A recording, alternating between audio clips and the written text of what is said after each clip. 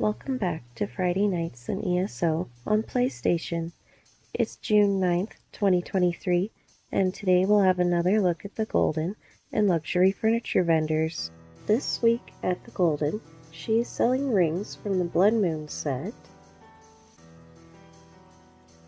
the Gryphon's Ferocity set, the Plague Slinger set, and the Night Terror set.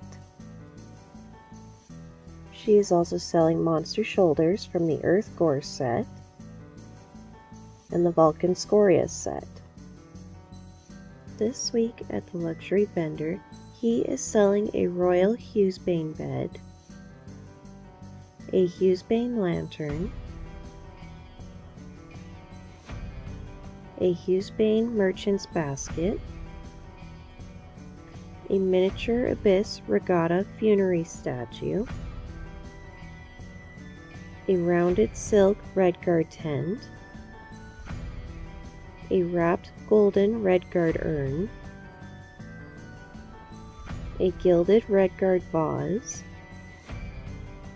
a gilded Yokudan sarcophagus base,